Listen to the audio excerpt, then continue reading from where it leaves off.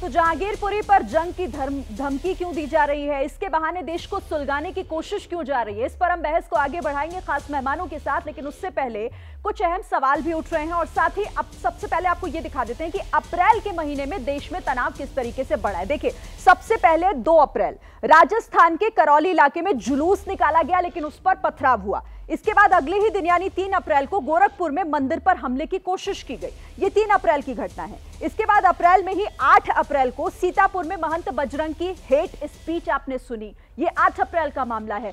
फिर 10 अप्रैल, रामनवमी के दिन शोभा यात्रा निकाली गई। कई जगहों पर हिंसा की तस्वीरें और खबरें सामने आई, वो भी आपने देखी अप्रैल के महीने में 10 अप्रैल का ये मामला।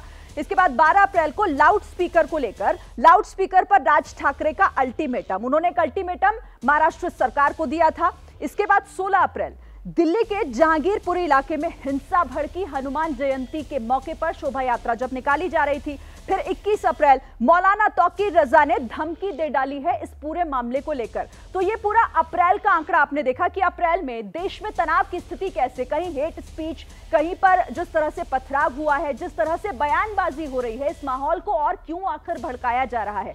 इस पर हम बात करेंगे। सभी खास मेहमान मेरे साथ जुड़ गए एक एक करके मैं आपसे उन सभी का परिचय करवा देती हूँ। आरपी सिंह, बीजेपी प्रवक्ता, हमारे साथ जुड़ गए हैं। रागिनी नायक को आप देख रहे हैं, कांग्रेस की प्रवक्ता हमारे साथ जुड़ गई हैं। इसके साथ ही यहाँ स्टूडियो में मेरे साथ स्वामी दीपांकर, आध्यात्मिक गुरु हमारे साथ जुड़ गए हैं। अमीक जामेई एसपी के प्रवक्ता हैं, वो भी हमारे साथ जुड़ गए हैं। विशाल मिश्रा हैं, दिल्ली यूनिवर्सिटी के प्रोफेसर हमारे साथ, वो भी जुड़ रहे हैं इस चर्चा में। और इसी के साथ मुस्लिम स्कॉलर अतिकुर रहमान साहब भी हमारे साथ जुड़ रहे हैं। आप सभी का बहुत स्वागत है एबीपी न्यूज़ पर। शुरुआत में रागनी नायक आप ही से कर लेती हूँ, क्योंकि ये एक संवेदनशील मुद्दा बनता जा रहा है। जिस तरीके से चाहे वो बयानबाजी हो चाहे वो एक तरीके से इस पूरे मामले को लेकर, अतिक्रमण के मामले को लेकर इस देश में हिंदू और मुस्लिम को फैलाया जा रहा है। ऐसे में सवाल ये उठता है कि जहांगीरपुरी के बहाने क्या देश को सुलगाने की कोशिश नहीं हो रही? शरीन सबसे पहले तो मैं कहना चाहती हूँ कि कांग्रेस पार्टी मन वचन और कर्म से ये कहती है और मानती है कि ऐसी बानी बोलिए, मन का आपा खोए और को शीतल करे, आपहु शीतल हो तो किसी भी तरह का नफरती भड़काऊ जहरीला भाषण, जो वैमनस्य और दुर्भावना पैदा करता है जाति, धर्म, संप्रदाय, भाषा क्षेत्र के आधार पर, जो कानून और संविधान की परिधि से बाहर है उसकी न सिर्फ़ निंदा की जानी चाहिए, बल्कि ऐसे भाषण देने वाले व्यक्ति का जाति, धर्म पर न जाते हुए कड़ी से कड़ी कानूनी कार्रवाई करनी चाहिए, ताकि देश, जो हमारा कौमी एकता के लिए और सर्वधर्म संभाव के लिए जाना जाता है, वो बचा रहे। पर आपने एक बहुत ही महत्वपूर्ण सवाल पूछा कि हिंदू मुसलमान क्यों हो रहा है?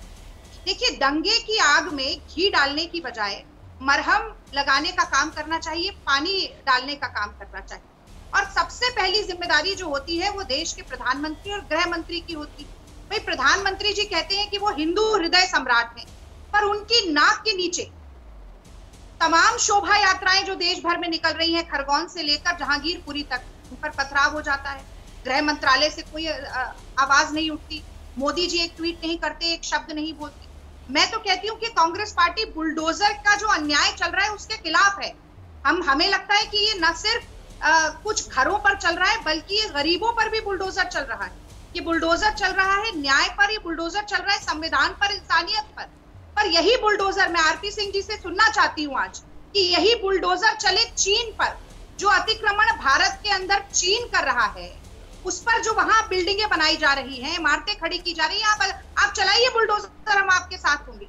लेकिन भारत की कौमी एकता पर मत चलाइए मजहबी तहजीब पर मत चलाइए और इन विवादों को खत्म करने की कोशिश करिए। अगर कोई मैं मैं एक बात बोलूँगी बस आखिरी बात फिर आप चली जाइएगा श्री। अगर मान लीजिए कहीं पर पथराव होता है आप उन लोगों को पकड़िए कार्रवाई करिए कानून सम्मत कार्रवाई करिए और खत्म करिए। अगर कोई भड़काऊ भाषण देता है उसको अरेस्ट करिए। आप ये रोज नया मुद्दा विवाद क्यों बनाते हैं? इसीलिए कि शरीन आप महँगाई पर बात ना कर सके। पैतालीस साल में सबसे बढ़ ज़्यादा बढ़ रही बेरोजगारी पर बात ना कर सके। लेकिन राजनी नायक जी मुझे ये भी तो बताइए आप कह रही हैं कि अन्याय का बुलडोजर जो अवैध है उसके खिलाफ तो कानूनी कार्रवाई होगी ना जो अतिक्रमण है उससे तो हटाया ही जाएगा।